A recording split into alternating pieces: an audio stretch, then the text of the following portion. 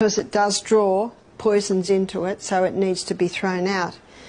Now we're going to look at the raw onion.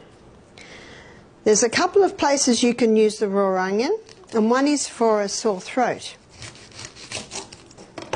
Now, if you want to uh, tell a friend about this because maybe they've got a sore throat, they can go to YouTube and Google Barbara O'Neill, and there is a onion uh, natural remedies lecture there, poultices.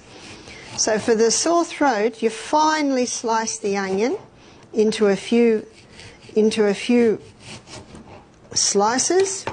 And what we do is, if the sheets get old, you just tear up the sheets. And then you put this sliced onion on the on the cloth, and you fold the cloth over, and then fold it back over and then that will go around the throat like that, and then you can wrap a scarf around it, nice woolly scarf, and you can go to sleep with that, and it'll bring relief to the to the sore throat.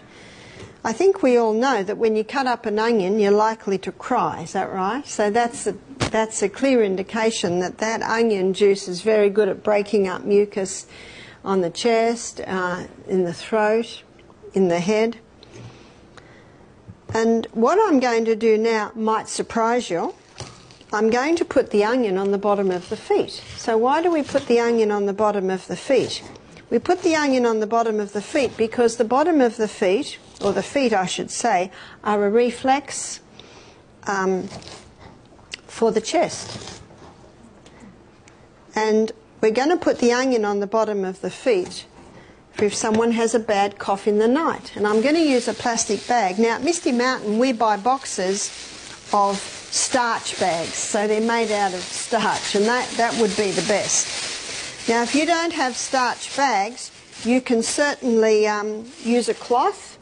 So you might use a cloth, put the, put the onion like that, and put it in the bag.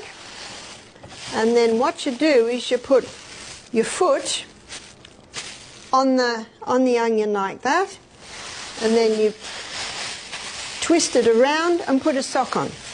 So the bottom of the feet is touching the onion, and then you put a sock on and holds it in place. Now my grandson, he was three at the time. I was visiting my daughter, and he had a bad cough. And she gave him a hot bath, which always eases the cough, and put him to bed, and he was coughing and coughing and coughing and coughing. And we thought he'll be asleep in a minute, but he kept coughing and coughing.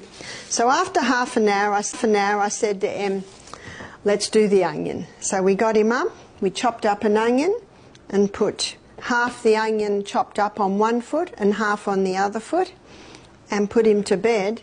Not one more cough. It's, all, it's almost unbelievable. You, you almost have to do it to believe how incredible it is. Not one more cough for the whole night with the onion on the bottom of his feet. So that's great for a night cough. Now I'm going to show you how to make an onion cough mixture. And the onion cough mixture is a very sim simple thing to do. You chop up the onion and then you layer it in a jar with honey. So we're going to chop it up small. Of course, the smaller the better because the larger surface area you'll have.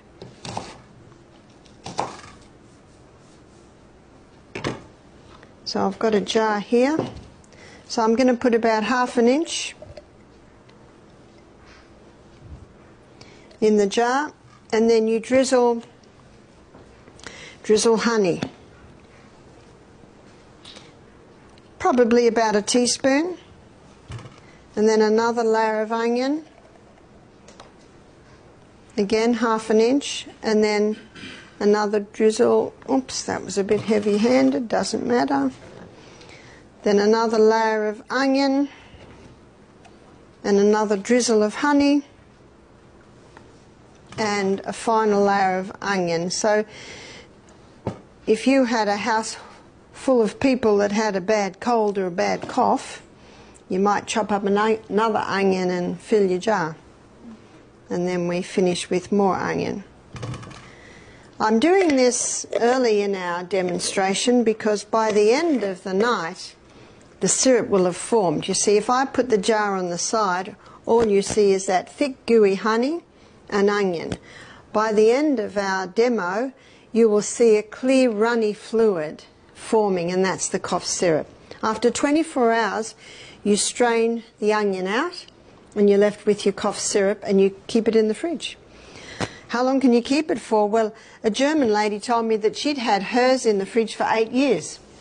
Because honey doesn't go off, does it? So once you take the onion out, it will, it will keep indefinitely.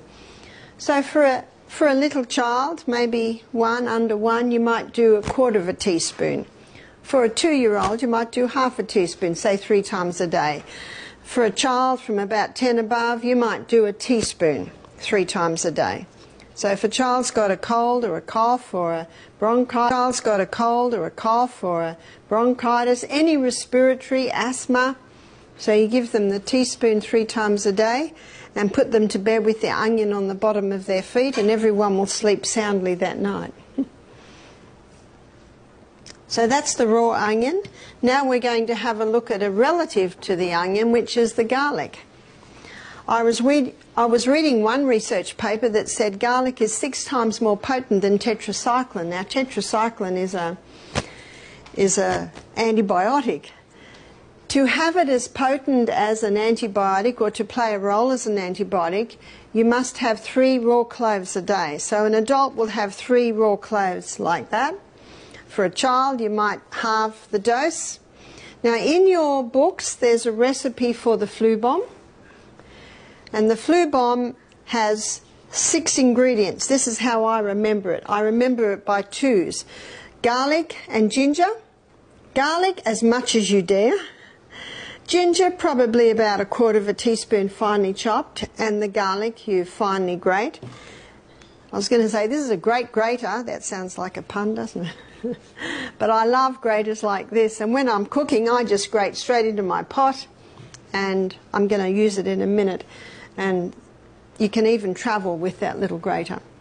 So you see it's quite fine, so you'd finely, finely grate the ginger and the, and the garlic into a cup. So there's your first two ingredients. The next two ingredients are one drop of eucalyptus oil. If you haven't got eucalyptus oil, you could use um, uh, tea tree oil. One lady said, but Barbara, it says on the bottle you must not consume it. And I said, Well, I'm not asking you to drink half a bottle. We've got some common sense, haven't we?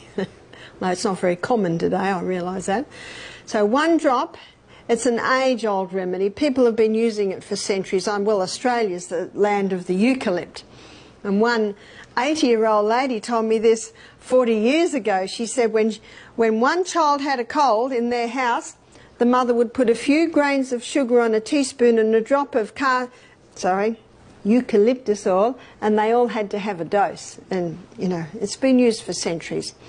The reason why they say you must not take it is 40 years ago, a little boy in Tasmania, you've heard of Tasmania, that little island at the bottom of Australia, he drank a few mouthfuls of eucalyptus oil and went into a coma. So they banned it. Now, there was such an uproar about it that they legalised it again.